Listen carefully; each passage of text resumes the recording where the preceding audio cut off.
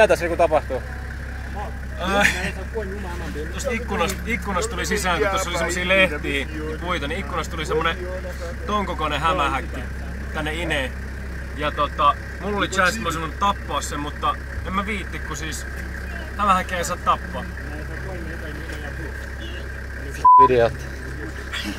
Ei se ollut mikään paniikkiratkaisu, kun hämähäkkiä ei saa tappaa. Mä ajattelin, että se otetaan tosta vaan pois tosta.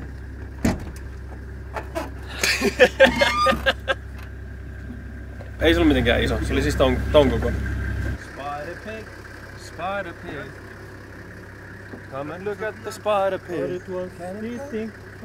This leaf No we can't, he's a pig, look how.